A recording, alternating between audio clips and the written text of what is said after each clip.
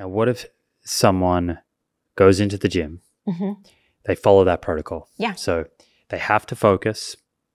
They are taking the sets to a point where the speed of their reps drops off dramatically towards Yeah. the end. And they need longer than a 30 to 60 second rest between sets in order to recover.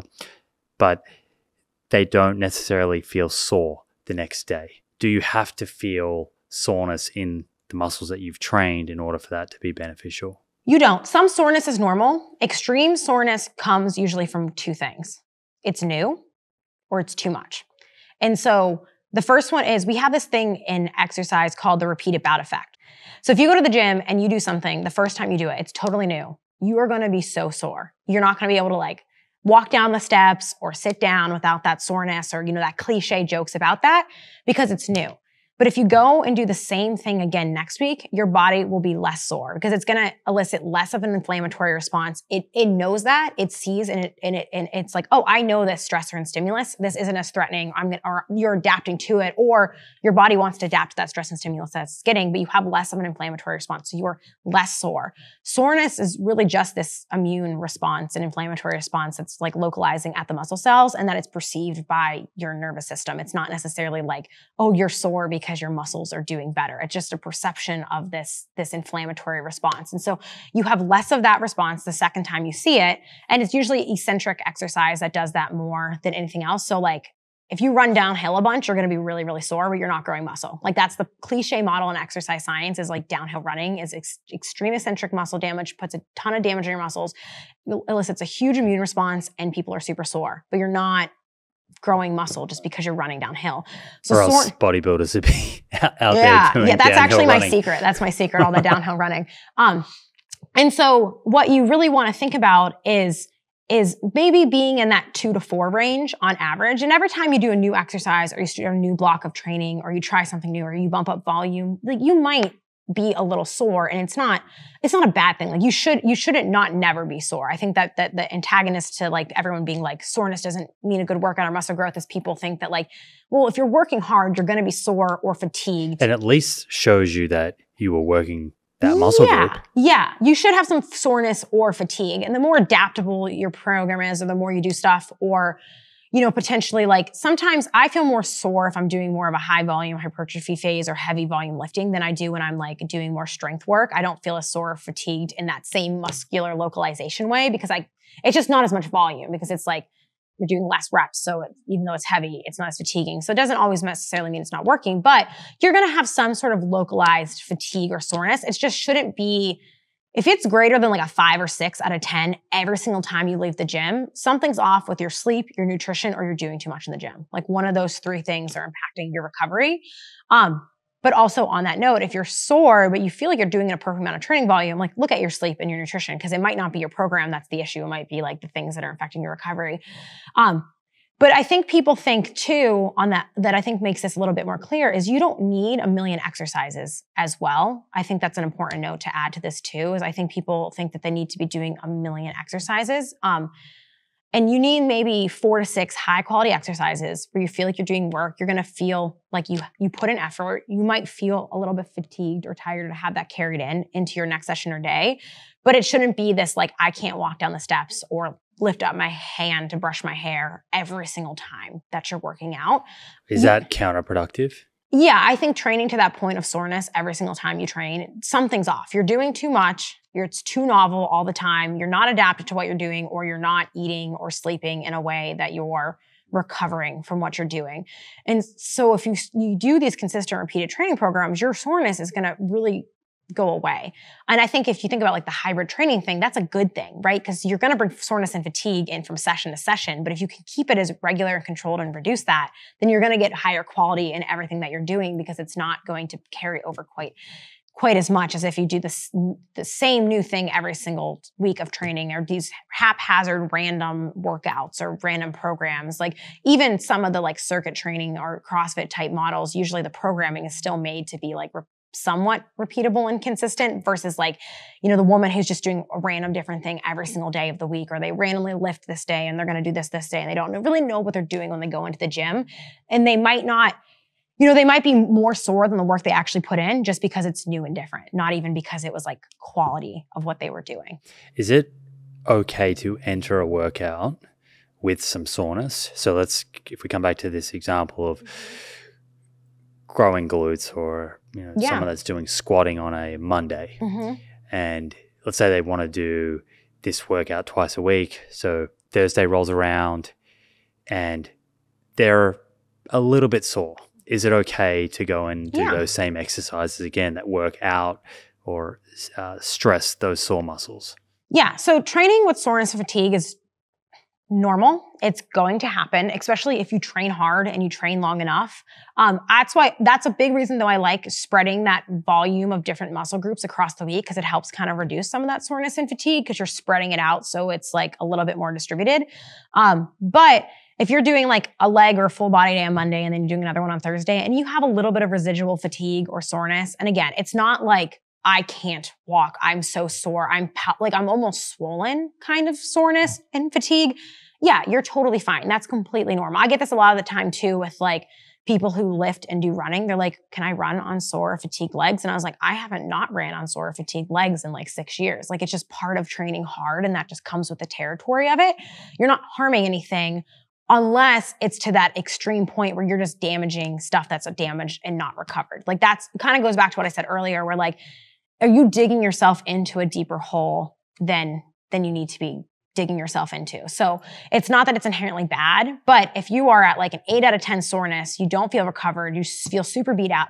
And a great indication of that is if you go into that next session and you can't have that same strength or power output or like muscular power because you're going to have a lot of inflammation and fluid and swelling in those muscles. It's probably an indication that, okay, I probably overdid it on that day, or maybe I need to take an extra day for this to recover because that peak of that soreness is usually about 48 to 72 hours after a training session, that peak of that inflammatory response. But if you feel like, okay, I'm, I can't move anything in this, you probably just need to take a step back, recover, maybe do something that's going to just, Prioritize recovery. yeah. What do you think about cold water immersion?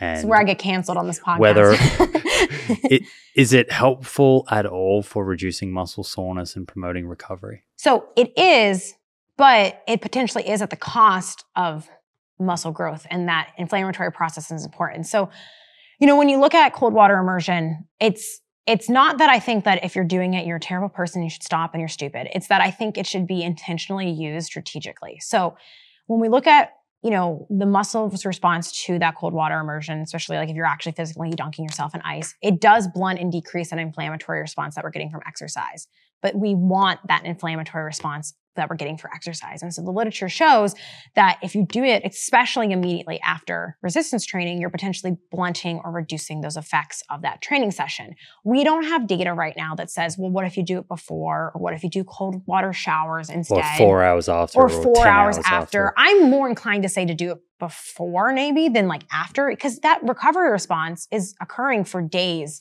after. Like it's it's that inflammatory response that we're having in response to training. It's you know it's there for 24, 48, 72 hours after. Right, So- but if you do it before Is and it you train a day yeah, before like, that, it's it's within that window now. It's still within that. So like I, I, you know, but when you look at it though, it doesn't appear to impact performance or things um, after like there was like mis- mixed martial martial arts or fighter type people that they looked at, and it appeared to not necessarily impact that. Um, and it does look like it doesn't negatively impact adaptations to aerobic training. It might actually potentially enhance those. So if you're going to do it, you know, maybe you're doing it after cardio training sessions or other forms of things. Or maybe if you're in your season of specifically trying to gain muscle strength and hypertrophy, you're reducing that or pulling that back. It's just like the cardio thing. It doesn't fully stop it from happening. You're still going to probably gain muscle to some degree. It just might be reducing that the extent of which that might happen. And I think a, the, there's this this bias of people who again have already been muscular who started doing this cold water immersion. They're like it didn't kill my gains. I'm like but you, you still have the muscle that you developed when you didn't do it. So i think that you know but that's where it's beneficial is like the reason people use it in sporting events or between like inter- like intervals at the CrossFit Games or between back-to-back races or these things, it's because you don't you don't care about adapting in those period of time. You care about reducing that inflammatory response because you don't want to be sore and have that fatigue or that impaired muscle power output that happen. Because essentially, what happens when you're fatigued or sore, you don't you, your muscle fibers don't generate as much power. So you don't, but you're not trying to adapt in those moments. Like you know, they're they're just trying to recover between session to session. So that there's this people who are like, well, my favorite basketball player did ice hmm. water immersions and they're a great athlete. Yeah. And I'm like, but they weren't in that moment between games, they weren't caring about hypertrophy. No, they're just trying to get up for the next game. They're just trying to get up for the next game. So that they're the the cons for it in response to resistance training as a pro when it comes to short-term recovery, but not long-term muscular adaptations. But I think that that you know, if people like it and they want to do it, I don't, I just like, I don't care. I don't think it's the optimal thing for muscle strength and hypertrophy. So if you're going to do it, place it on its own or potentially around cardiovascular training, or maybe don't do it every single day of, of, of, the week.